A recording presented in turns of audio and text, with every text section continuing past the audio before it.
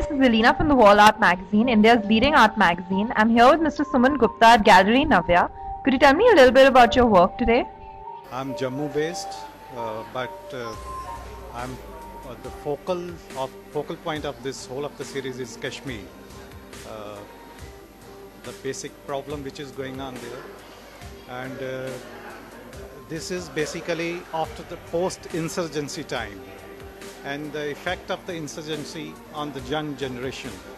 Like in this few works, you can see the uh, young boy and girl standing here with the stones uh, in the backside, and uh, uh, these both the works are based on the Stone Pelter series. So I am basically focusing mostly on you see uh, the post insurgency time. Mostly portraits, right? Also in this series, lots of.